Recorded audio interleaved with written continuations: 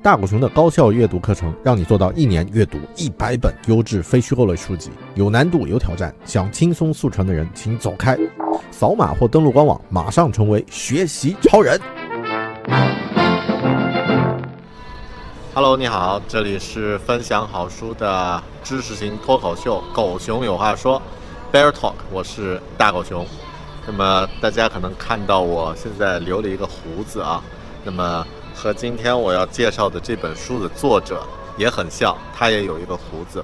那么，今天我要和大家聊一聊用户体验这件事儿。那么今天狗熊将会向大家推荐一本书，来自于英国用户体验设计师 Will Grant 他的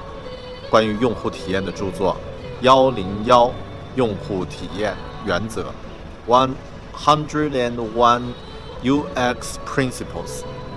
那么这本书呀，其实我在阅读它的时候是带着很实用的目的去阅读的。狗熊我呢是一个呃，在国内曾经是一个产品经理，是一个开发团队的 leader。那么也在自己的这个工作中呢，涉及到了很多产品开发的项目。但其实从内心来说，我自己还是有一些啊。不是太自信，也就是在产品开发领域呢，我的理论知识和经验其实很少，大多数情况都是在具体的项目中去练习。所以呢，在阅读的过程中，我也想能不能有一些书籍能够帮助自己从啊理论上，或者说从国外的一些优秀的这个设计师他们那里学习到一些高深的，或者说啊很具体的经验。那么，在用户体验设计 （UX Design） 这个领域里面呢，有很多啊，一听到就我们都知道应该去阅读的书，比如说像啊这个啊，Don't Make Me Think，不要让我想，Hook，Inspiring，啊这些书呢都是很值得去阅读的，但在啊，这些理论化的书籍之外呢，我想找一些具体由设计师写的，能够很好的帮助我们在日常生活中就啊，在日常的工作中就提升自己啊，在用户设计、用户体验设计这个领域的知识。那么有没有呢？我找到了这本《用户体验设计幺零幺原则》。那么这本书啊，是英国的设计师 Will Grant 他写的。他有二十年的用户体验设计的经验，那么也曾跟随这个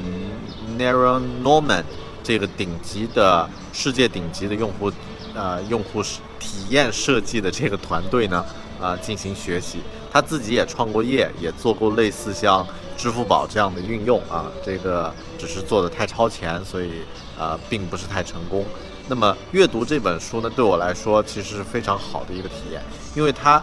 提出了一些用户体验设计师在工作中经常会犯的一些常见的毛病和错误。那么你阅读它之后，马上就可以在自己的工作中呢实际去提升。啊，同时呢也可以学到一些啊关于用户体验设计的一些啊一些思路、一些方法。那么举几个例子啊，第一个，比如说像这个 simplicity。就是啊，简化原则。那么我们都知道，现在的这个每个人接触的信息太过于复杂啊，大量的信息呢需要去简化。但在用户设计领域、用户体验设计领域呢，这个简化的标准其实要更严格。也就是说，你要能够有决心把所有干扰用户的这些信息都给它去除，然后把所有用户可能会去操作的步骤呢，尽量去简化。能够用一个词的就不要用两个词，而且这种简化呀，不仅是在设计方面，而而且是在像文案创撰写这个工作流程方面，都是尽量的啊去去优化，优化到最简为原则啊，优化到最简为原则。那么这一点呀，啊，对于设计师对于设计师来说，要减少干扰，其实是一件非常难的事。嗯，可能大多数朋友会把设计。简单的理解为只是界面和美化，就是 graphic 和 visual 这两个层面，视觉的层面。那么其实不不是，更多情况设计呢是需要对一个呃解决方案进行构想和进行优化。所以这里说的这个简化呢，可能大家不要去理解，只是单纯的那个留白极简风格啊的这个设计风格，而是更多呢从流程上进行优化。举个例子，像很多网站都会有提供这个忘记密码这个选项，或者说在密码输在用户进行创建账号的时候，啊只需要创建一次密码。为什么很多现在国外网站会这样去做呢？因为他们发现呀。啊，如果是需要重复输入两遍密码，第二遍还要确认的话，大部分场景你在手机的这个小屏幕上进行输入是非常难的。更何况我们现在的密码的要求尽量是这个大写小写数字啊字母混合输入。那么如果是两步都需要去验证的话，往往很多用户会选择我输入一个最简单的密码就好了。那么这会减少这个啊，会增加这个用户。的密码失窃和账号被黑的这个几率，那么怎么去避免他忘记密码或者处理啊这个后面记不清这个密码呢？那么很简单，你只需要把忘记密码这个流程做得更加精炼啊。那么用户在忘记密码的时候，他只需要点击忘记密码密码按钮就可以去激活这个流程了。而且 Will Grant 在这本书里说到呀。根据他们的这个实际的数据分析，实际上忘忘记密码的这个点击按钮，这个按钮被点击的次数是相当高的。那么第二点啊，是这个我在书里面学到的是一个叫做啊用户的心理模型 （mental model）。那么这个是什么概概念呢？其实，在另外一本书叫做啊设计心理学。The Design of Everyday Things，那个作者 Don Norman 他就提出来了一个叫做 Conceptual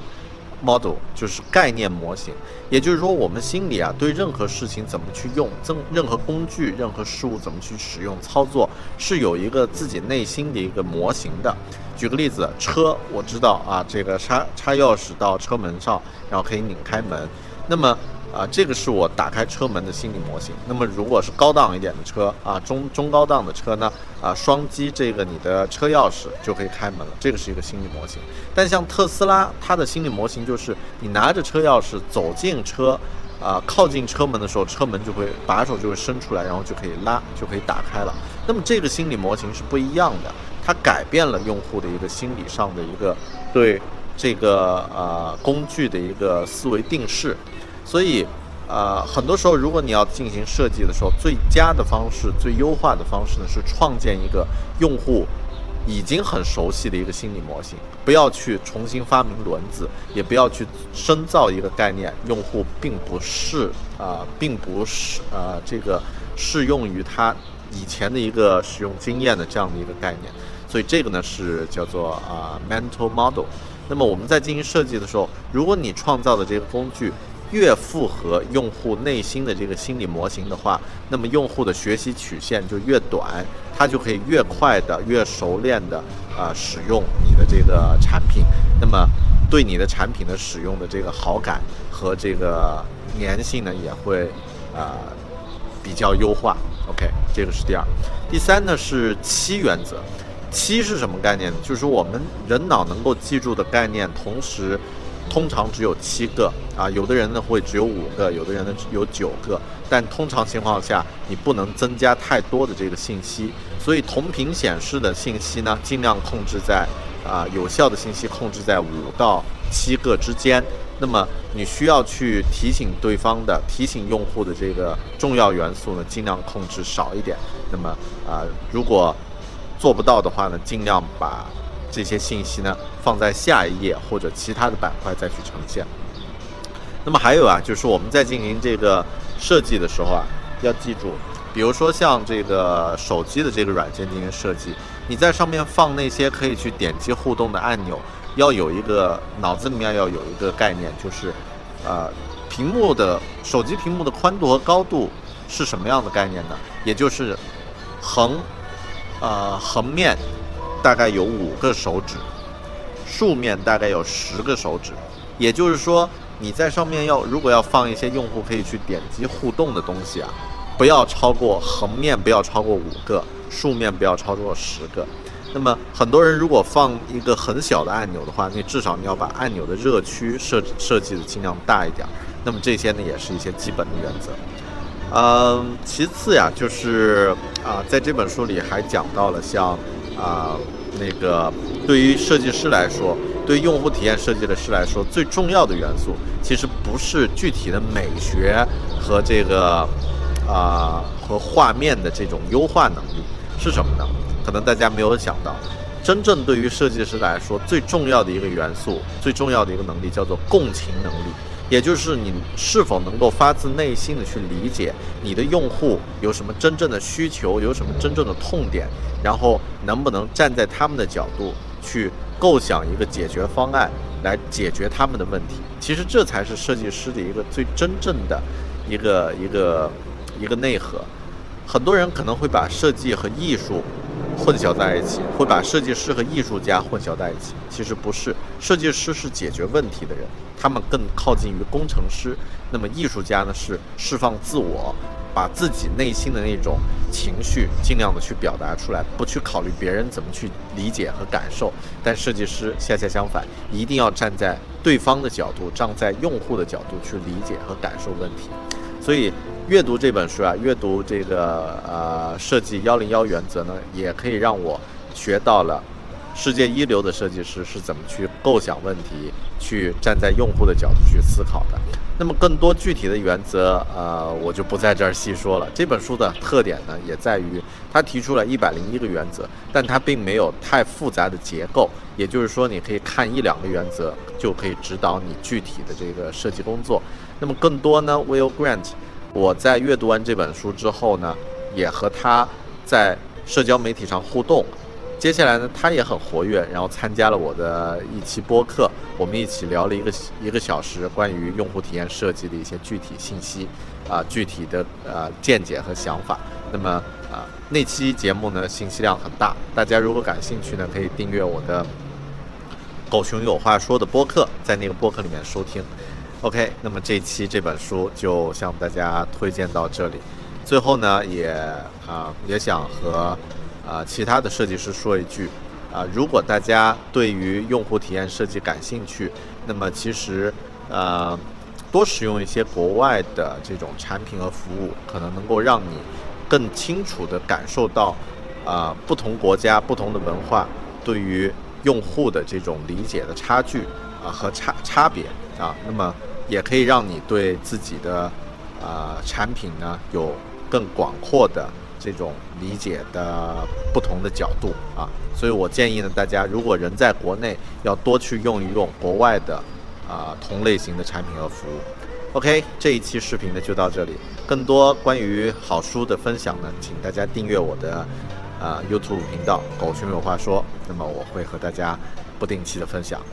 好的，今天的书就到这里，我们下本书里再见，拜拜。